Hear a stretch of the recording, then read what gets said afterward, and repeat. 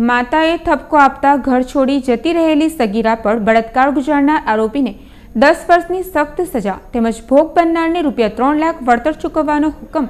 Bharuch sessions કોર્ટે કર્યો છે. ભરૂચમાં મામાના ઘરે માતા સાથે રહેતી સગીરાને માતાએ ઘરકામ બાબતે ઠપકો આપતા ઘર છોડીને સગીરા ટ્રેનમાં કોસંબા જતી રહી હતી, જ્યાં રાત્રે દરમિયાન એકલતા અને નિસહાય હાલતમાં પ્લેટફોર્મ પર સગીરાને જોઈ મદદ કરવાના બહાને આરોપી શાહરૂખ શેખના પોતાના ઘરે ગોંધી રાખી વારંવાર બળાત્કાર ગુજાર્યો હતો. તે દરમિયાન સુરત રેલવે સ્ટેશન ઉપર આરોપી અને સગીરા પાસે ટિકિટ માંગતા આરોપી સગીરાને સુરત રેલવે પ્લેટફોર્મ પર મૂકી ફરાર થઈ ગયો હતો. આ બાદ સમગ્ર હકીકત સગીરાએ પોલીસને જણાવતા તેના માતા પિતાને બોલાવી પોલીસે જણાવતા આ અંગે તેઓએ ભરૂચ એ ડિવિઝન પોલીસ મથકે ફરિયાદ તેના પિતાએ નોંધાવી હતી.